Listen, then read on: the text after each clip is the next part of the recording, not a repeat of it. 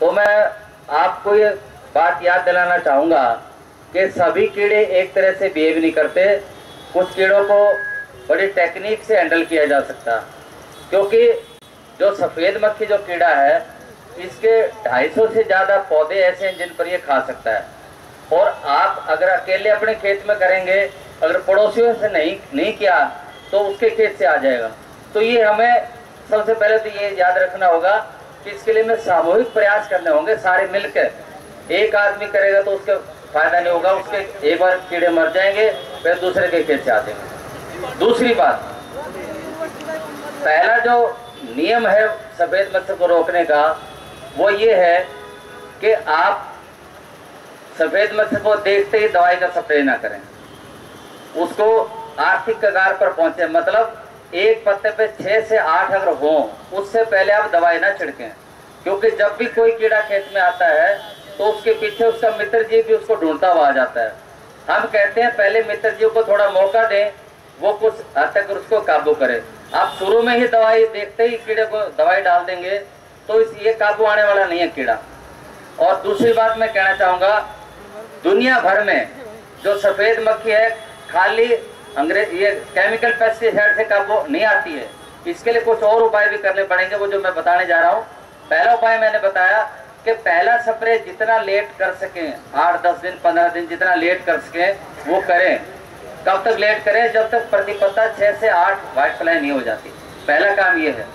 दूसरा काम आपने करना है कि नीम की दवाई का स्प्रे करना है। जब आप समझे कि पत्ते पर, एक पत्ते पे छह से आठ सफ़ेद मक्खी होगी तो पहला स्प्रे नीम का करें और उसके बाद दूसरा स्प्रे भी नीम का करें। नीम की जो दवाई है, वो सफ़ेद मक्खी को अंडे देने से रोकेगी, उसको खाने में दिक्कत करेगी, उस पर बैठेगी कम और कुछ मारेगी तो नीम का धीरे धीरे असर होता है तो उसमें जो सफ़ेद मच्छर की, सफ़ेद मक्खी की बढ़ोतरी नहीं होगी। तीसरा जो आपने करना है, अगर तेला भी आ गया है तो आपने कॉन्फिडोर इतना काम नहीं कर रहा है जो आप बहुत ज़्यादा छिड़कते हैं आजकल मैं ये कहूँगा, नीम और रोगोर या मेटासिसोस मिला के करें। नीम और रोगोर या मेटासिसोस मिला के करें। ऐसे बहुत से किसान मेरे संपर्क में हैं, जो शुरू से कपास बोई थी मेरे संपर्क में वो बहुत अच्छा नियंत्रण सफ़ेद मक्खी का ले रहे हैं और उनके मैसेज भी आते हैं, फ़ोन भी आते हैं कि हमारा काबू में है। और चौथी बात मैं बताऊँगा, सफ़ेद मक्खी को 100 परसेंट मारना पॉसिबल नहीं है, संभव नहीं है। इसलिए 70-80 परसेंट अगर हम मार देते हैं तो ये काफ़ी कंट्रोल है। आपके पत्ते काले होने की नौबत नहीं आएगी। तो इसके अलावा हमें थोड़ा थोड़ा कंट्रोल दूसरे तरीकों से भी लेना है। ये पीले रंग की तरफ़ आकर्षित होती है। आप कुछ भी करें, एक खेत में 10-20 जगह गत्ते टांग दें को पतरा टांग दे को पीपे पुराने टांग दे, उन पे या तो पीला कागज़ चिपका दें, या ग्रीस लगा दें उन पे तो वो सफ़ेद मक्खी उधर आकर्षित होकर उस पर चिपक जाएगी। तो ऐसा करने से आप 20-25 परसेंट इस तरीके से कंट्रोल कर सकते हैं। तो थोड़ा थोड़ा कंट्रोल हर तरीके से लेना पड़ेगा जब ये काबू आएगी। कीड़े ज़्यादा लगते हैं। चुंडी के लिए तो उसमें जीन डाल दिया है, लेकिन इसमें इनके प्रति रोधक क्षमता नहीं है, एक बात। किसी भी कीड़े के पनपने के लिए तीन चीज़ों की आवश्यकता होती है। एक तो वो फ़सल कैसी है, वो उस पर ज़्यादा पसंद है कि नहीं कीड़ों को? वो तो पीटी पसंद है कीड़ों को, रस चूसने वाले कीड़ों दूसरा होता है मौसम। ये बारिश ना होने की वजह से जो नमी तो है, लेकिन बारिश से जो इफ़ेक्ट आता है, धुल जाती है सफ़ेद मक्खी, उसकी वजह से मौसम सफ़ेद मक्खी के फेवर में है। तो ऐसी कंडीशन में ऐसी भारी संख्या कीड़ों की आम हो जाती है। जब मौसम अनुकूल हो और जो वैरायटी जो ससेप्टिबल है तो ऐसे में बहुत भारी संख्या में उत्पन्न हो जाता है।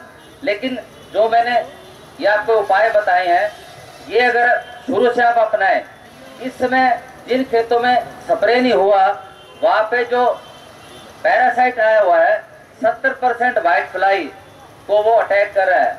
यानी कि बिना दवाई के भी सत्तर परसेंट व्हाइट फ्लाई मित्र जीव नष्ट कर रहा है।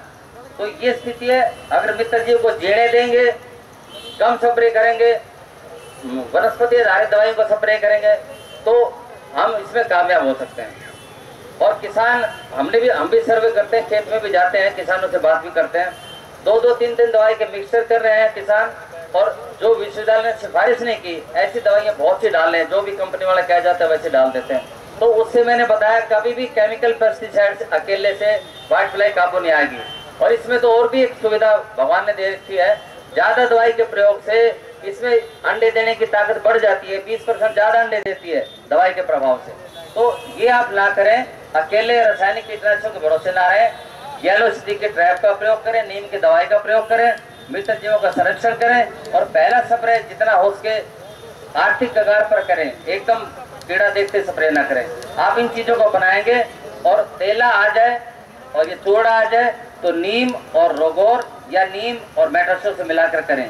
यह साधन करेंगे तो मेरा ये दावा है कि 70 परसेंट आपकी पॉपुलेशन कम हो जाएगी। अगर ये वीडियो आपको अच्छी लगे तो मेरे चैनल को ज़रूर सब्सक्राइब कीजिए।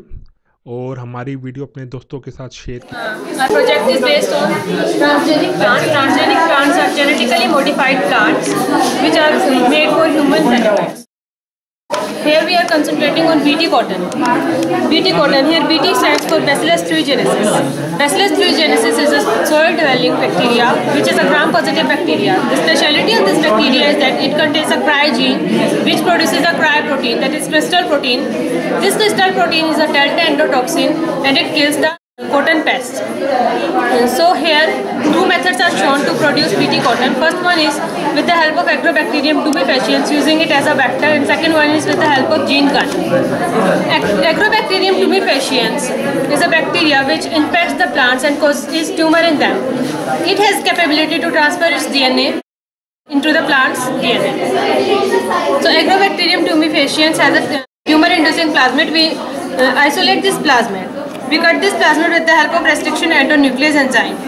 We isolate the chromosome of the uh, Bacillus thuringiensis and cut the uh, genes with the help of restriction endonuclease enzyme. We use same restriction endonuclease enzyme so that we can uh, join these two genes with the help of ligase enzyme. This recombinant plasmid is then inserted into the Agrobacterium tumefaciens and the plants uh, are infected with this recombinant Agrobacterium tumefaciens. The tissues are taken from the plants and cultured in tissue media. This tissue media uh, transferred to root inducing media and shoot inducing media. When the plants are grown, they are micropropagated and subcultured to increase their number, which produces BT cotton. Now all this is done in tissue culture lab. Tissue culture lab we provide optimum photoperiod, temperature and macronutrients. After micropropagating and subculturing, we transfer the plants into the polyhouse for hardening. After hardening, we transfer them to the fields. In fields, when the insect feed upon the cotton, BT cotton, then this mechanism takes place. When the ballworm ingests the BT cotton, crystal proteins also enters the alimentary canal. They get solubilized due to the alkaline pH of the alimentary canal. Cells are present which contain some receptors. When this uh, protein is converted, toxin is converted into toxin, they bind on the receptors. The receptors, this leads to the formation of pores into the alimentary canal. Uh, development of pores, then it leads to cell death due to lysis. The blood flows from vessels into the alimentary canal, which leads to the death of uh, bollworm insects. तो आपका नाम और college So, Bhavna Sharan, BSc second year. तो हम अपने channel में कई प्रकार की साइंस एग्जीबिशन की रिकॉर्डिंग डालेंगे तो आप हमारे चैनल के साथ बने रहें हम जो है साइंस टेक्नोलॉजी और एग्रीकल्चर के जितने भी एडवांस प्रोडक्ट्स हैं या टेक्नोलॉजी है अपने चैनल में डालेंगे तो आप हमारे चैनल को ज़रूर सब्सक्राइब करें और हमारी वीडियो को अपने दोस्तों के साथ शेयर कीजिए। और आप चाहो तो इन वीडियो को आप अपने ब्लॉग्स में फेसबुक वाल पर या गूगल प्लस पर या ट्विटर पर आप शेयर कर सकते हैं, क्योंकि ये वीडियो जो है बिल्कुल ही नए कंसेप्ट पे चल रही हैं। आपकी मदद की ज़रूरत पड़ती है।